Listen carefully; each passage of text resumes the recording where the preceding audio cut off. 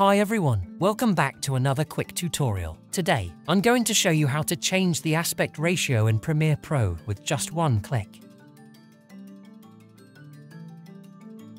First, we'll see the basic method. Head over to Sequence and click on Sequence Settings. Then, change the frame size to your desired dimensions and click OK. As you can see, with this method, you might still need to adjust the video's size and position, especially if your main subject is moving. So let's explore a much easier method. Select your clip, go to Sequence, and click on Auto Reframe Sequence. Now choose your desired aspect ratio. Keep the other settings as they are and click Create. This process will take a few seconds.